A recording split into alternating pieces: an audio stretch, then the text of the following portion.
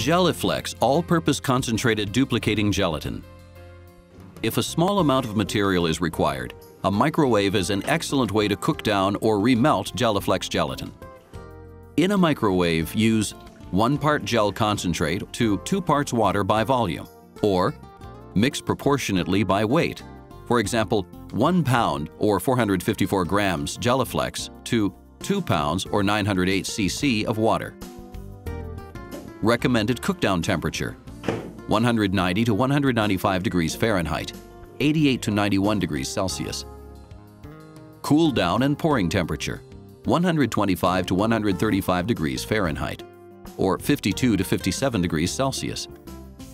Duplicating the master model. After the model has been designed and prepared, an accurate stone duplicate model must be made. Place the master model in water to soak for 10 minutes. Melt the concentrated gelatin with the added water in a microwave for 10 minutes on high and cool the gelatin by stirring with spatula under a fan to cool it faster if necessary. When the gel has cooled down to 125 to 135 degrees Fahrenheit or 52 to 57 degrees Celsius, which is the pouring temperature, you can use an inexpensive meat thermometer available at most grocery stores to determine if it is at pouring temp. Pour the gel. Allow it to cool in the duplicating flask for 20 minutes before placing it in a water bath for final setting for an additional 20 minutes.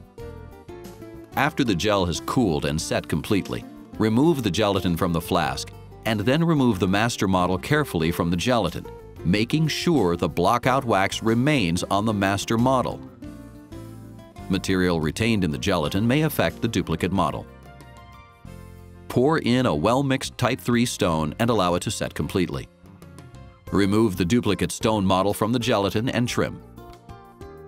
To remelt, the used gelatin should be cut in small pieces and a small amount of water should be added before remelting. Store Geliflex at room temperature before opening. After opening and first use, store in refrigerator.